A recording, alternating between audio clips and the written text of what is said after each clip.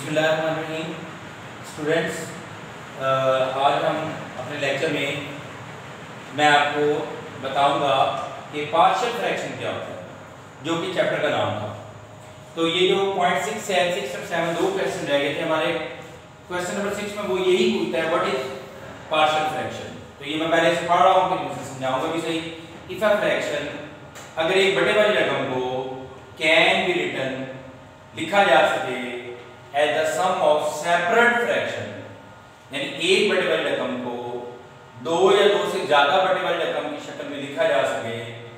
These separate fraction in अलग-अलग बड़े वाली रकमों को आर कॉल्ड पार्शियल फ्रैक्शन इसे पार्शियल फ्रैक्शन कहा जाता है। दोबारा बोल रहा हूँ, अगर एक बटे वाली रकम को दो या दो से ज़्यादा बटे वाली रकमों की शक्ल में लिखा जा सके तो इस अमल का नाम पार्शियल फ्रैक्शन होता है, यानी एक बटे में रकम होगी, हम उसके टुकड़े कर देंगे, उसको दो या दो से ज़्यादा हिस्सों में तकसीम कर देंगे उनका एलसीएम लेंगे, वापस वो बनेंगे, उसके टुकड़े करेंगे, या हिस्से करेंगे तो वो अगले, वो जो हिस्से हैं, उन्हें पार्शियल फ्रैक्शन कहा जाता है। ये है पार्शियल फ्रैक्शन अब मैं इसका डिमॉन्स्ट्रेशन के तौर पर क्वेश्चन भी हल करूँगा, आपको एग्ज़ाम्पल भी दूँगा, ये हमारा आखिरी क्वेश्चन है। इसमें वो क्या पूछता है? वो कहता है कि अगर पार्शियल फ्रैक्शन की प्रॉपर फ्रैक्शन कर दी जाए तो क्या जवाब आएगा? तो जवाब यह है the partial fraction of a proper fraction proper fraction की जो पार्शियल फ्रैक्शन है, वो भी प्रॉपर ही होती है। ये बड़ा इंपॉर्टेंट सवाल है। बोर्ड में बड़ी दफ़ा आ चुका हुआ है कि अगर हम प्रॉपर फ्रैक्शन की पार्शियल फ्रैक्शन कर दें तो वो नई चीज़ क्या बनेगी? वो भी एक प्रॉपर फ्रैक्शन ही बनेगी। तो ये दो सवाल आज हमने डिस्कस करने थे। एक पार्शियल फ्रैक्शन क्या होता है? मैंने बता दिया कि अगर एक रकम, बटे वाली रकम को दो या दो से ज़्यादा हिस्से में तकसीम कर दिया जाए तो इसे पार्शियल फ्रैक्शन कहते हैं। जी। जी, ये एक नोट है। उसके बाद मैं क्वेश्चन इंशाल्लाह शुरू करूँगा और पार्शियल फ्रैक्शन के प्रैक्टिकली डेमोंस्ट्रेशन करूँगा। कहता है if two polynomials are equal अगर दो पॉलीनोमियल बराबर हो तो क्या होगा? तो कहता है for all values of the variable जो इनमें वेरिएबल इन्वॉल्व हैं ए ये वेरिएबल आप देख रहे हैं, इधर वेरिएबल देखिए अगर मैं कहता हूँ ये दोनों पॉलीनोमियल बराबर हैं तो इसका मतलब क्या है? कहता है ये पॉलीनोमियल की एक तो डिग्री सेम होगी दोनों तरफ़। इधर डिग्री देखें क्या है? तीन। इधर डिग्री देखें क्या है? तीन। एक इनकी डिग्री एक जैसी होगी। And the coefficient of like power of the variable इस ये इधर पावर तीन है, इसका कोफिशिएंट इधर पावर तीन है, इसका कोफिशिएंट ये आपस में बराबर होंगे। लाइक पावर का मतलब ये इधर x स्क्वायर है, इसका कोफिशिएंट क्या हुआ है? इधर x स्क्वायर है, इसका कोफिशिएंट 3 है, क्या हुआ? 3 बराबर होंगे इधर x की पावर 1 है लाइक पावर इधर x की पावर 1 है। ये a इस 4 के बराबर होगा और इसी तरह b जो है वो 5 के बराबर होगा। The coefficient of like power of the variable in both the polynomial must be equal यानी इनके जितने भी जो एक तो इनकी डिग्री बराबर होगी, एक जैसी होगी, यानी मैक्सिमम पावर दोनों की सेम होगी। दूसरा जो जो पावर वाले वेरिएबल इधर है, उनके कोफिशिएंट और उसी पावर वाले वेरिएबल इधर है, उनके कोफिशिएंट आपस में बराबर होंगे। इधर पावर 3 वाला, इधर पावर 3 के बराबर होगा, दो वाला दो के बराबर होगा पावर 1 वाला 1 के बराबर होगा और कांस्टेंट कांस्टेंट के बराबर होगा। ये है when two polynomials are equal तो उसकी कंडीशन मैंने बताई है कि जब दो पॉलीनोमियल इक्वल हो तो उनकी क्या दो चीज़ें हमें चेक करनी पड़ेगी? एक उनकी डिग्री चेक करनी पड़ेगी और इनके कोफिशिएंट चेक करेंगे, क्या वो बराबर हैं या नहीं है। जी स्टूडेंट अभी हम एक्सरसाइज 5.1 जो है। इसका क्वेश्चन नंबर वन में आपसे डिस्कस करने लगा हूँ। ये मैं आपको इधर स्टेप वाइज रिजॉल्व करके दूँगा। तो अब आपने बहुत अच्छे तरीके से इसे देखना है कि हम जो है इसको कैसे हल करेंगे। इसमें कुछ स्टेप्स हैं, वो मैं यहाँ पे टेम्परेरी लिखने लगा हूँ। स्टेप नंबर वन में क्या देखना है स्टेप नंबर टू में क्या देखना है।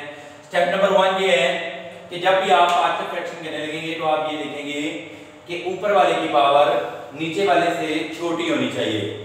जितनी पावर ऊपर है, जितनी पावर नीचे, आप देखेंगे कि क्या ऊपर वाले रकम की पावर नीचे वाले से छोटी है। अगर ऊपर वाले की नीचे वाले से पावर छोटी है तो हम सवाल को आगे हल करना शुरू करेंगे। और अगर पावर छोटी नहीं है तो पहले हम ऊपर वाले की पावर छोटी बनाएँगे। लिहाजा स्टेप नंबर वन ये हम देखेंगे, इधर आप देखें, इधर x की पावर ऊपर ज़ीरो है, इधर x नीचे है पावर है स्क्वायर इसका मतलब है नीचे पावर बड़ी है, ऊपर पावर छोटी हम सवाल को हल कर सकते हैं।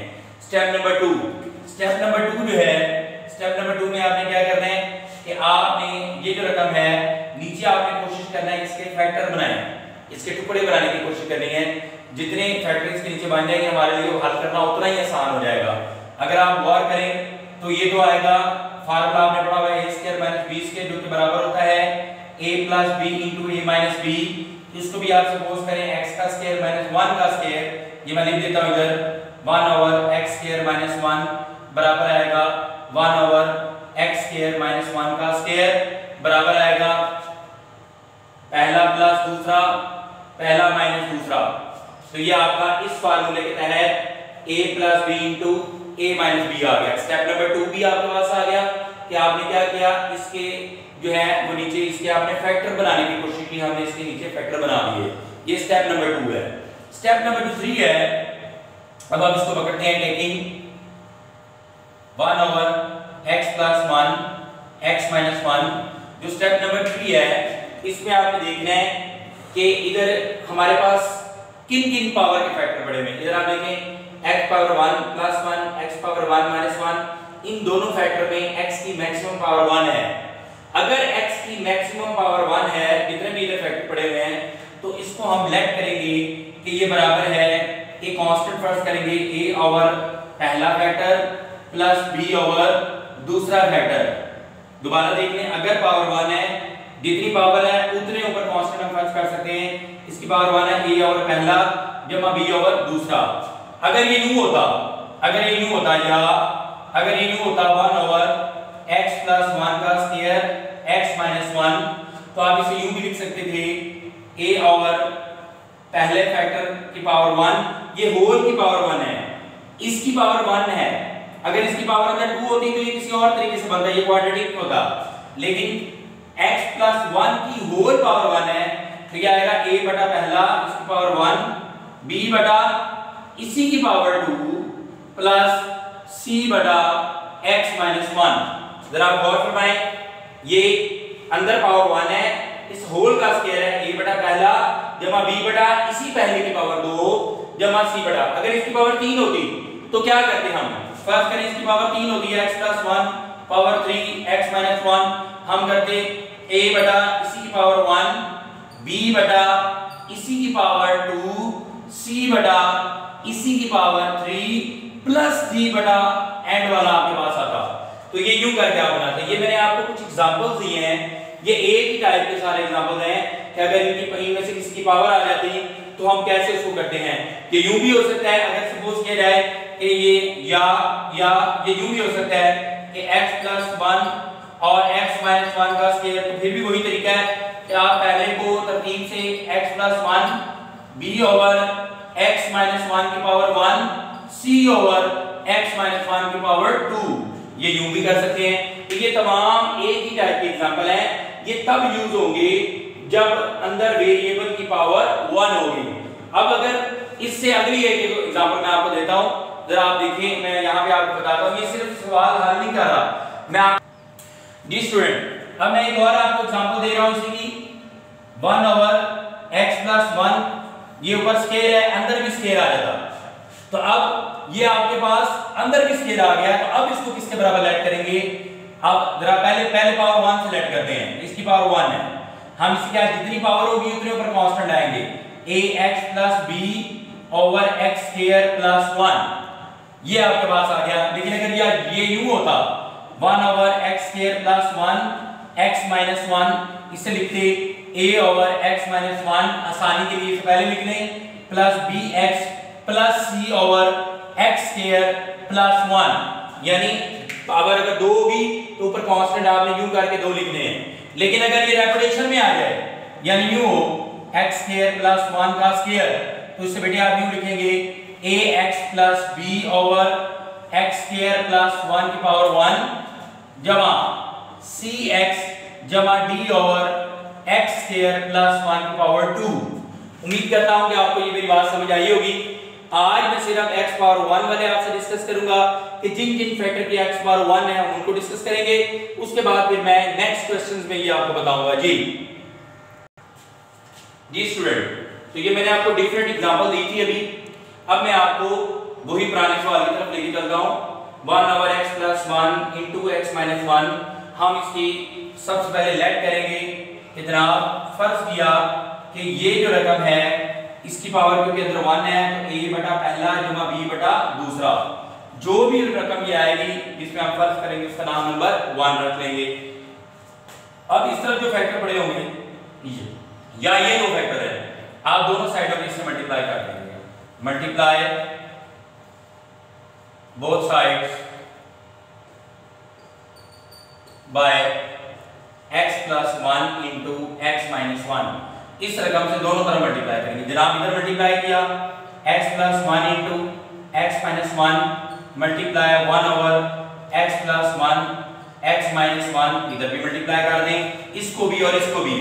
तो x plus one x minus one multiply हो गया a over x plus one से plus x plus one x minus one multiply हो गया b over x minus one से. जब आप मल्टीप्लाई करेंगे तो फ़ायदा क्या होगा? बटे से ये रकमें खत्म हो जाएँगी, ये इससे कैंसिल x प्लस वन इससे गया, x माइनस वन इससे गया. रिज़ल्ट में क्या आपके पास आया जनाब? इधर आपके पास ऊपर वाली वैल्यू ये बचेगी. इधर आएगा x minus one into a plus इधर आएगा x plus one into b ये जो जवाब आपके पास आया जैसे बटा खत्म हो, इसका नाम आपने नंबर टू रख लेना है। अब स्टेप नंबर फोर क्या होगा? स्टेप नंबर थ्री मैंने आपको डिटेल में बताया था, अभी एग्जांपल दी थी। स्टेप नंबर फोर जो हमारा है, उसमें आप ये देखेंगे। यहाँ पे जो जितने भी फैक्टर बने हुए हैं, जिन जिन की पावर वन है उन उनको बारी बारी आप ज़ीरो के बराबर पुट करके x की वैल्यू निकालेंगे। और उस x की वैल्यू को एक एक करके हम वापस पुट करना शुरू करेंगे ऊपर। जरा चेक करें आप। इधर से आप फैक्टर पकड़ेंगे। जिन जिन की पावर वन है, जैसे लेट कर लेते हैं, x माइनस वन जो है, वो ज़ीरो के बराबर है। तो x की कीमत क्या आएगी? वन आपने यहाँ से x की कीमत निकाली।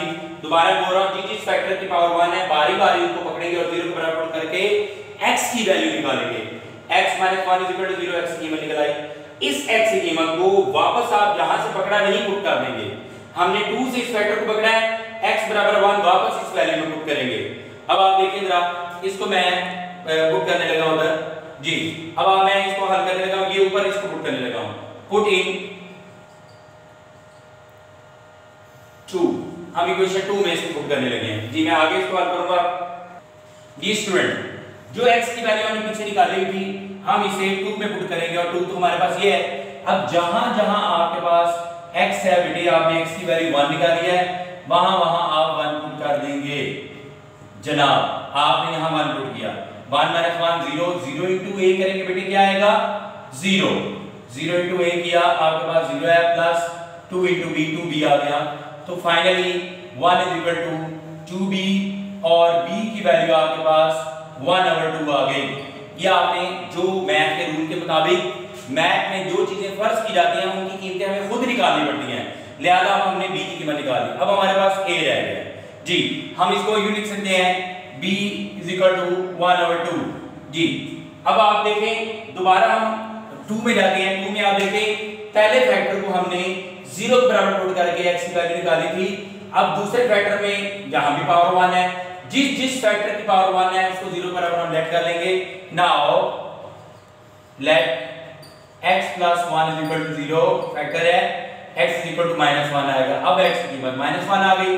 दोबारा इसी कीमत को आप टू में दोबारा पुट कर देंगे। जहाँ से पकड़ा है, वहीं वापस पुट करेंगे। हम लिखेंगे पुट इनटू जब आप इस टू में पुट करेंगे तो क्या आंसर आया? वन इज़ इक्वल टू बेटे जिधर जिधर एक्स है, वहाँ माइनस वन आप पुट करेंगे आप। Minus one. इस एक्स की जगह माइनस वन माइनस वन ये आ गया। जी। और plus minus one, plus one b आ गया। ये बेटे आप गौर करें तो आपके पास ये आपस में कैंसिल हो जाएँगे। One minus two into a plus zero into b इसको मैं इधर रिजॉल्व करने लगा जरा गौर फरमाइएगा। ये इससे मल्टीप्लाई होकर माइनस टू ए आ जाएगा। One is equal to minus two into a plus zero. It's mean one is equal to minus two a और minus one over two a हम यूँ इसको लिख सकते हैं is equal to minus one over two ये आपने ए की वैल्यू निकाली। तो स्टूडेंट्स आपने ए और बी दो वैल्यूज़ फ़र्स्ट दी थी। सपोज़ किया था, हम इन्हें सपोजिशन की जो वैल्यू थी, उन दोनों को हमने निकाला। अब वापस इन दोनों वैल्यू को इक्वेशन वन में पुट करेंगे। कुछ values of a and b in one one में पुट करते हैं। जनाब वन आपके पास क्या थी मैं पहले लिखता हूँ यहाँ पे वन वन आपके पास थी x plus one x minus one is equal to a over x plus one plus b over x minus one ये आपके पास इक्वेशन वन थी। अब आपने a की वैल्यू और b की वैल्यू यहाँ पुट करें। x plus one x minus one is equal to a आपकी वैल्यू है minus one over two over x plus one plus b की वैल्यू आपने जनाब निकाली हुई है वन ओवर टू अब आप b की वैल्यू यहाँ पे पुट करेंगे वन ओवर टू प्लस का x माइनस वन तो माइनस वन ओवर टू इसको यूँ लिखा जा सकता है one over x plus one x minus one is equal to minus one over two x plus one plus one over two x minus one ये जो अमल आपने किया है ये आपने पार्शल फ्रैक्शन की है। एक रकम के दो टुकड़े कर दिए हैं। एक बड़े वाली रकम के दो टुकड़े के करने के अमल को पार्शल फ्रैक्शन कहते हैं। स्टूडेंट्स नेक्स्ट क्वेश्चन जो है, वो मैं आपको जो है करवाऊँगा टू और थ्री जो है, आइए अब हम वो